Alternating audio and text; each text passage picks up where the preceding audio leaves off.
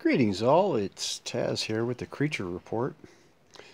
This is, we call her, this is Crack Eyes. Well, because she has red, red rimmed eyes. And they have a thing about celery that you would not believe. I have never seen any other person or any other animal eat celery the way this industrial killing machine works.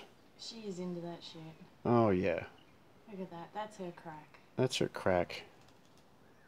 Yep, she done found it. Jesus, get me some of that stringy goodness in me.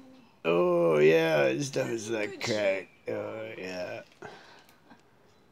Look at that. I mean, it's just ah, it's This like is a- watching a train wreck. You can't look away. Oh my god, she's panting with the exhaustion.